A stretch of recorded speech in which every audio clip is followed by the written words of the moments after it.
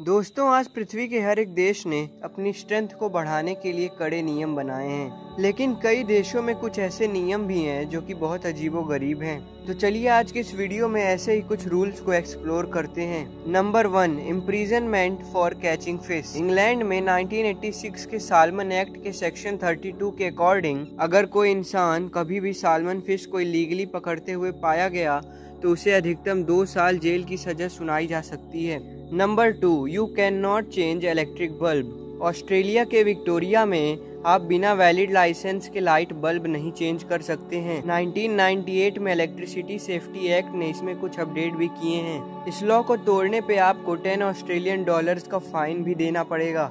Number three smile is required Italy के Milan में एक लॉ है जो आपको स्माइल कराने के लिए बनाया गया है। ये लॉ हॉस्पिटल्स फ्यूनरल्स जैसी जगहों पे नहीं है।